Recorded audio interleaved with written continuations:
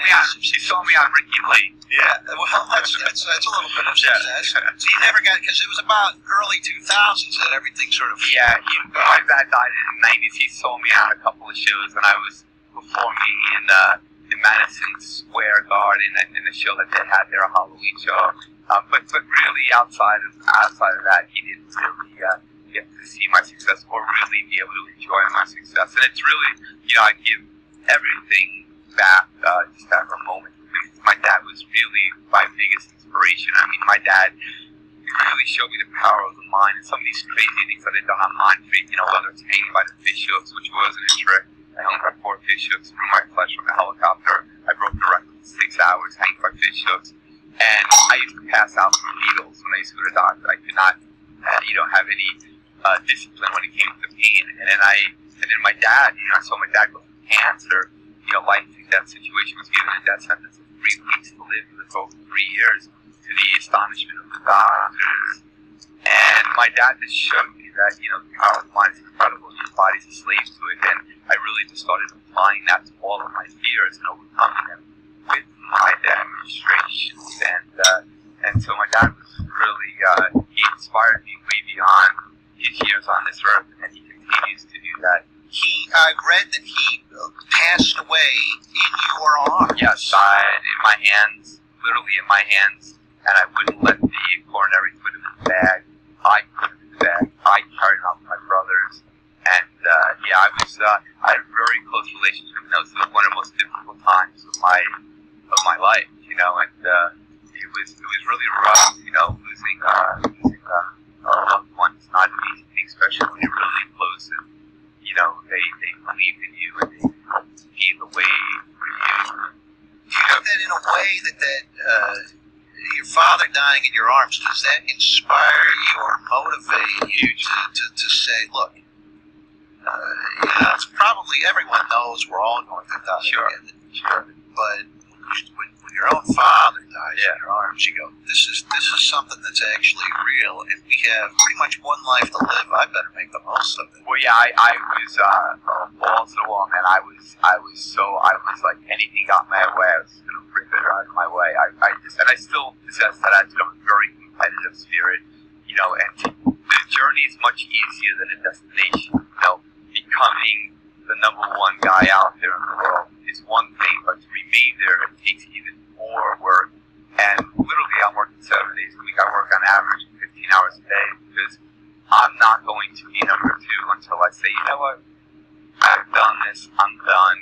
I'm going to retire. But that's that. That hasn't come yet. So my dad, his work ethic and his um, perseverance and his um, his fiber of of, of, his, of, of his being really uh, lives in me, and, and I know that's something that will live on me and and hope down the road to uh, to my kids. You know, uh, eventually. You don't have any kids now. Uh, yeah, no. No, not, not that you know of. And I'm, I'm a very family oriented person. I have kids all over. I'm just joking. I know you were, you were married for a while, for I think four years. Yeah. Uh, divorced. Are you you're remarried now? Are you a girlfriend, or what's the story now? Um, put it this way, my professional life I can manage brilliantly.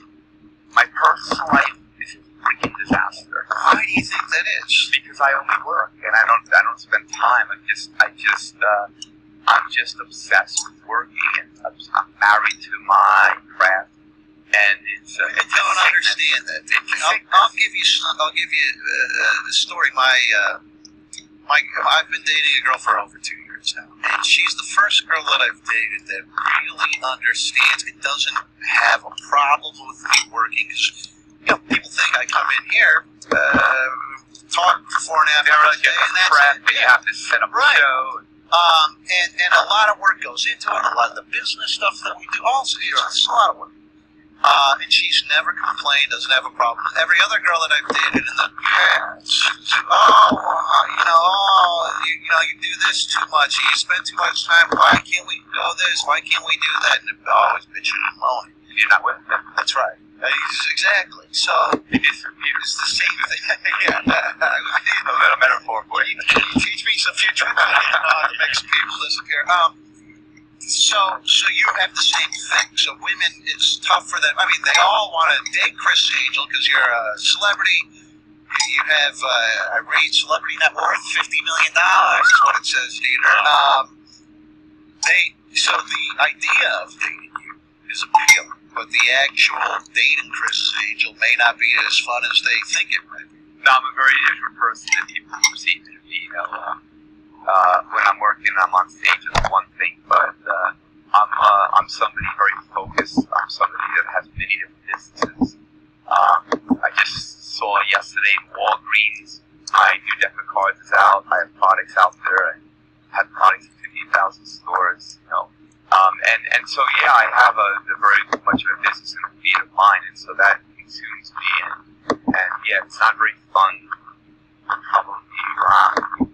So, it's like we're so, you that so you know how much your father meant to you? Yeah. Uh, do you worry that as life goes on, you're getting older, uh, that you may not have that same experience with your own children unless you unless you get moving on it? Um, yeah, um, you know, to spend time with somebody that you love and that you can uh, have that type of bond, which is purely magical, like in the truest sense of the word. Um, yeah, I mean, yeah, that, that's something that uh, I want to have that time. Um, but uh, but right now, I have so many things going on, right? The supernaturalist and believe and mind life and you know everything else that you know you only get 24 hours a day. I it was a study done like you know if you were to do everything that every doctor and every everybody told you as far as physical fitness and spiritual, and it would take you about 36 hours. And so you have to basically manage and prioritize what you need to do. And so for me, you know, unfortunately, for better or for worse, I love what I do and I hate what I do. It's a love-hate relationship, and I'm sure you feel the same way if you're really consumed by it. Um, but it's like this, it's like this thing in me that I can't rest my mind, and I literally, um. Like this. It's a monster. I created my own monster, it's like it, it, it, it just, it just, uh, it battles me because I just, I don't spend time. I mean, real I take time and just, you know, watch. I don't even the last movie I relax or do something. You know, I, I just don't do that. So I have to be uh, fair.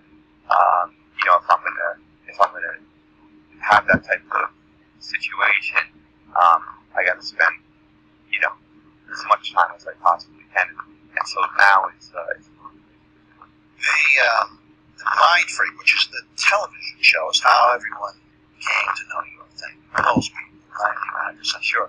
Prior to that, it was you were doing that like as an off-Broadway show, which I did not know. So you you have a theater, you're doing this, and did someone come see this? And they go, "This would make a great television show." Or how did the TV show?